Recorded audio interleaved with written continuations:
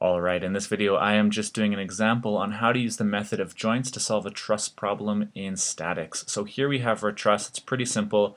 There's just one externally applied force here, and it's simply supported.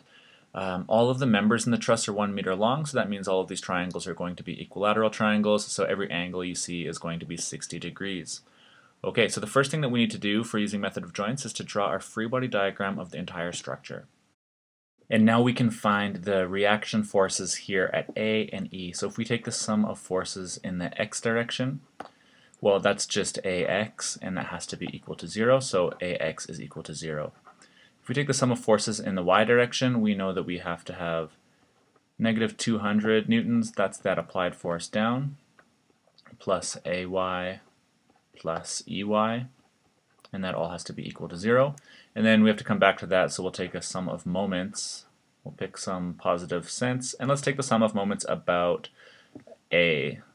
Okay, so when we take the sum of moments about A, we know that's going to be equal to 0, so we have, uh, this will be negative sense, so we have negative 200 times 1.5 meters, that's 200 newtons times 1.5 newtons, plus the moment caused by this guy, so it'll be plus EY times 2 meters. Alright, that's all equal to 0. Then we just rearrange for EY, and we'll get EY is equal to, this is 200 times 1.5, so that is, uh, that's 300 newton meters over 2 meters, and that's going to give us 150 newtons. Then bringing this back in here, we just have to sum up to 200 using our sum of forces in the y direction, so we're going to find that AY is equal to 50 newtons, and these guys are both pointing up. Alright, so now the next thing that we need to do is we need to draw a free body diagram for each of the joints. Alright, so now we have all of the free body diagrams for each joint. I've drawn all of the unknown forces, which are all the internal forces in the members themselves. I've drawn them all in tension, so they're always pulling away from the point. Notice if, for example, member AB, if it's in tension at A, it's pulling away from A. It's also pulling away from B. That's If it's in tension somewhere in the rod, it's in tension everywhere in the rod. Um, the reason we do this, this is just a sign convention, so if we, when we're solving for the magnitudes of these uh, forces, if we get it to be a positive force, that we know that it is actually in tension. And if we find that it's a negative magnitude, then we just know that it's uh, the member is actually in compression. All right, so let's go ahead and let's start solving these one by one. And we have to start with one that has a maximum of two unknowns, so we can just start with, uh, with joint A here. Okay, so uh, we'll start with the sum of forces in the y direction. And we do that because we already know something in the y direction. So we have 15 newtons going up, and then we have plus AB sine 60, and that all has to be equal to 0. So if we just rearrange for AB, we get AB is equal to negative 50 over 0.866. That's just the sine of 60. And when you punch that in your calculator, you're going to find that the force, the internal force in AB is negative 57, let's say 0.7 newtons. So that negative sign means that this is in compression, and we'll just indicate that with a C in brackets, just to keep things straight. Okay, so now we'll take the sum of forces in the uh, in the x direction. So sum of forces in the x direction, and we get uh, well, we know that, that we have this negative 57.7 newtons, so it's pointing this way actually, so in the x direction it's the negative component. Uh, so we have negative, uh, there we go, negative 57.7 times cos of 60, plus we have AB, and that's, uh, this member is entirely, it's, all the internal force will be entirely oriented in the x direction, uh, and that's equal to 0. So if we just have cos 60 times 57.7. Cos 60 is just 0.5, so we're going to find out that, uh, oh sorry, this is AC. Uh, what am I doing? There we go. Okay, AC. All right, so plus, so AC, we just reorganize that, and we're going to find that this is equal to 28.85 newtons. This number is positive, so we know that this is actually in tension, and that's exactly what we want. Now, something that, that might be worthwhile doing is as we progress, now that we know that something is in compression, we know that AB is in compression, I would suggest that you come back and you switch the arrows here. Uh, you know, you don't have to, you might be, you might find that you're doing it a slightly different way in your in your exams and things, but I just like to keep track of which way we're actually going. All right, so now when we when we want to solve for B next, let's grab the free body diagram for B. Okay, so we're going to move this in. Now we know that AB is in compression and it has a magnitude of 57.7 newtons. So we already have the, the sense here properly. So we can actually, instead of writing AB, what we can do is we can just write 57.7 newtons. Okay, so let's take the sum of forces in the y direction first. So we'll have 57.7 times sine of 60, sine of 60, and then we'll subtract out BC times uh, the sine of 60, right? Because this is also on a 60 degree angle because of all of our equilateral triangles, that's equal to 0. What we can do is we can actually just divide out the sine of 60 from both sides, bring the BC over, and so we're going to find that BC is actually going to equal positive 57.7 newtons. And again, this is a positive value, so that means we're in tension. If we analyze this for one second, we can look at this point, and we see that there's this x, this is y component from this guy pointing up, so it would give it the tendency to want to translate up. So just looking at this, this is the only other component, or this is the only other force of the y component, so it has to be pulling down to counteract that, so we're not getting any of that translation for this particle, basically. Uh, so that's something, uh, a quick check you can usually do to make sure if, you're, if these numbers are making sense. Okay, so let's take the sum of forces in the x direction now. So sum of forces in the x direction for joint B we have 57.7 times cos of 60, that's 60, plus, and we're going to add this because they're both going into the right hand in the positive x direction, so we have plus BC, so this will be 57.7 times cos of 60, and then we also have plus BD, and that's all equal to 0.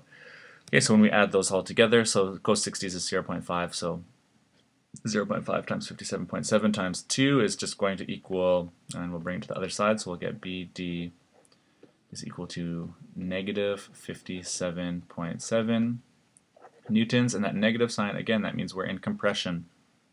All right, so then what I would do, just to make sure we're keeping keeping track of what's actually going on, I'll actually just change the sense of this so it is in compression. So it's pushing on the joints, it's not pulling on the joints.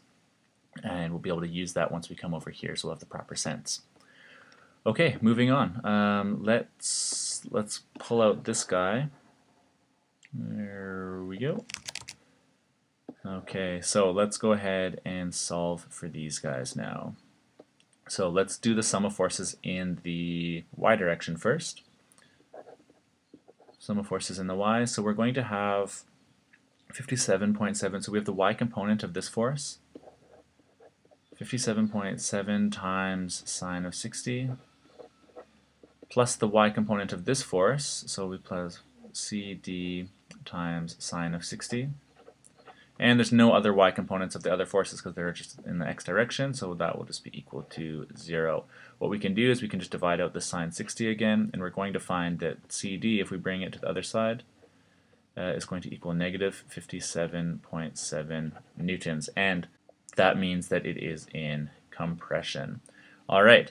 Uh, when we take the sum of forces in the y direction, or sorry, sum of forces in the x direction for joint C, we have negative AC, and we found that AC was 28.85 newtons. So negative 28.85 newtons. I'm putting negative here because it's going to the left in the negative x direction.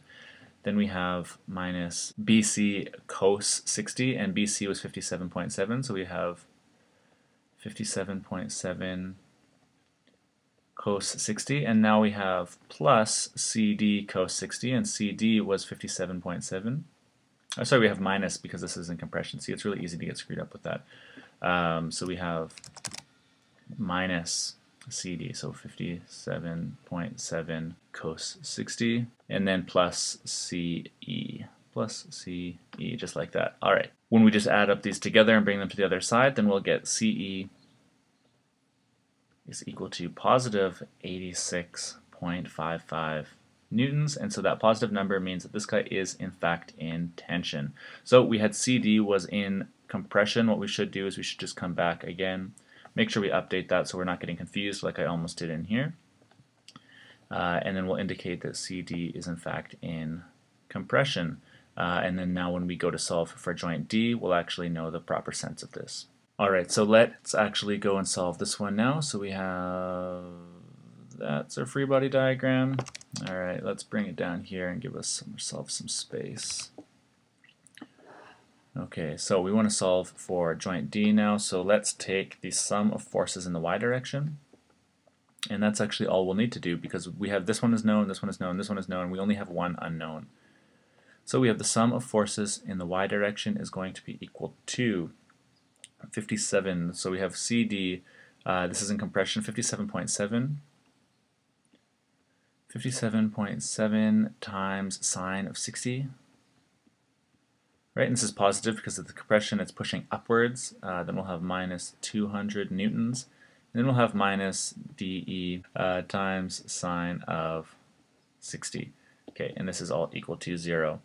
So this term here, 57.7 sine 60 is actually just equal to 50. This is 100. So if we rearrange that, we're going to get that uh, oh, we're going to get that dE is equal to about it's 150 uh, over sine 60. So that's 0 0.866. And if you just simplify that, we'll find that dE is 173.2 newtons, and that is in compression. All right, so what we want to do again, just so we're on top of things, we have DE. We just found out that that's in compression, so we can just come back and update this. If you want, I guess, if you if you don't have this, and if you're just doing these individual diagrams, you can update your diagrams as you go, uh, just as long as you're indicating um, that you're actually changing. And actually, I need to write, uh, sorry, that was negative. There we go, negative and negative. Yeah, watch out for that. Okay, so if you notice actually, we've actually just solved for all of the internal force, uh, and all of the internal forces and all of the members, and that was the, the goal of the problem. So looking back, we have A, B, maybe I should draw some boxes around them. So here's one of our answers, here's a, another one of our answers, there was BC right there, we had BD. Uh, we, we found all of the magnitudes and senses, so whether or not they're in tension or compression. Uh, and then lastly, we also had DE down here. Okay, so we have found all of the internal forces, but one thing that we could do is we haven't done, we haven't tested joint E here, the very last joint. What we can do is if we if we test joint E here and we find that uh, everything nets out to zero, then we'll know that we've done everything correctly. So uh, the last thing we want to do is just do our check. Ooh, there we go. Okay, one last free body diagram, little analysis down here. Alright, let's come down here. Alright, so we'll just check that our sum of forces in the y direction is actually zero at this joint using the internal force that we got. So we have uh, negative dE, where was dE? Right here. Uh, so we have negative 173.2 times sine of 60. That should be an equal sign um, plus 150 equals 0, right? So plus that guy. Well, sine 60 is 0 0.866, and 0 0.866 times 173.2 is negative 150, right? With that negative sign there, so plus 150, and we're going to net out to 0. So that looks like we've done that correctly. If this guy checks out, then we'll know we've done everything right. So we'll also take our sum of forces in the x direction, and we just have what was that? That was DE again, so it was, in this case, it's positive because we're going in the positive x direction, so it's 173.2 times sine of 60, oh sorry, times cos of 60 this time, times cos of 60 for the x component of DE, and then we'll subtract out CE, and CE was 86.55, and that should equal 0. And cos 60 is just 0 0.5, 0 0.5 times 173, we're going to get yeah, just basically 86.6 minus 86.6. There's just some rounding throughout the problem, uh, but that's basically going to get us to zero. So look, we know that we've done this correctly because our internal forces when we get to the other end of the truss are actually netting out to zero with also, with also the applied force of the reaction, and we know that we've done everything correct. So again, looking here, we have found all of our internal forces. We check to make sure that they're actually correct and that's everything that you need to do in the problem.